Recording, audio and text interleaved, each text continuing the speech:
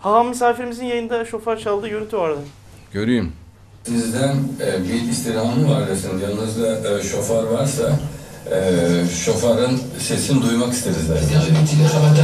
Burada hediye olarak da size. Çok memnun olurum.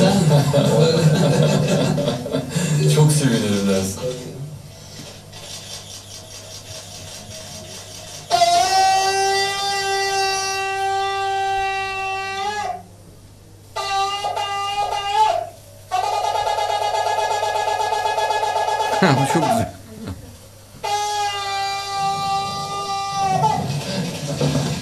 Teşekkür ederim. בראש השנה אולי יתקע בו, ראש השנה. בעוד בריאת העולם. ש-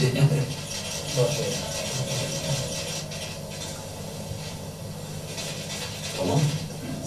Çok teşekkür ederim. Bu benim için en kıymetli hediyeler. Tamam. En kıymetli hediyelerden ikisi de özellikle çok önemli. Şimdi asıl şoförü önümüzdeki günlerde bütün televizyonlarda duyacaksınız. İnşallah hocam. Yer gök şoför sesleri inecek ve Filistin'de bütün camilerde, İsrail'de bütün camilerde aynı anda ezan okunacak. Bakın yalnız orada değil, bütün Türkiye'de de aynı anda ezan okunacak. İnşallah.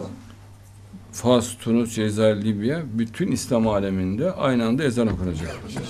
Ne zaman? Mehdi zuhur ettiğinde. Bütün her yerde İsrail'de şofar çalınacak. Bir tane, iki tane, yüz tane değil. Ve bütün kiliselerde çan çalınacak aynı anda. Çünkü üç dinin de imamı olmuş oluyor Mehdi.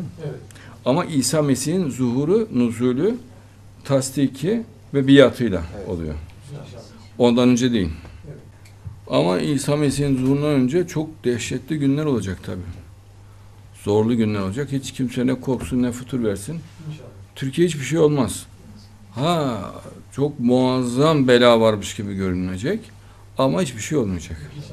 Yolumuza devam edeceğiz. İnşallah. Yani böyle muazzam zikzaklarla gidecek.